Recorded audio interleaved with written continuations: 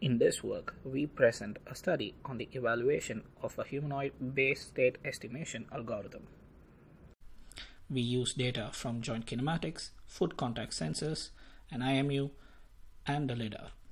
Two prominent state-of-the-art algorithms were used.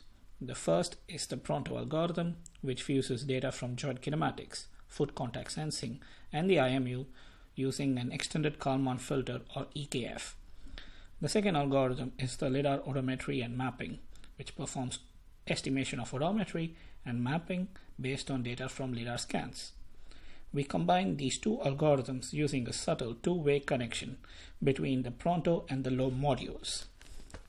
The Pronto EKF estimate provides initial pose for the odometry in the LOAM, while the odometry after mapping estimate from the LOAM provides corrections to the positions of the center of mass in the EKF. We experimentally evaluate this new combination on the WALK-MAN robot. The robot takes one step per second while walking. In the experiment shown in this video, it walks with a step size of 5 centimeters.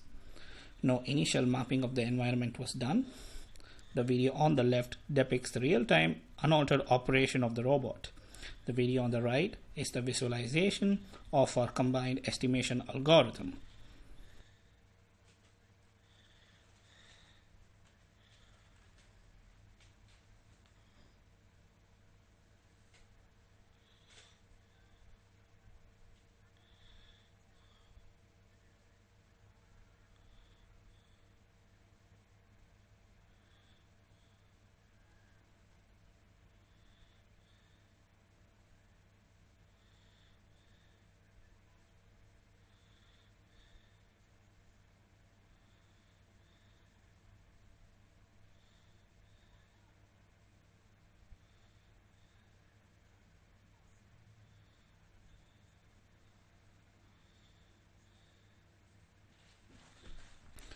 We are able to leverage the low frequency but drift reducing and accurate estimation of the LOAM to reduce the drift of the high frequency estimation of the Pronto EKF module.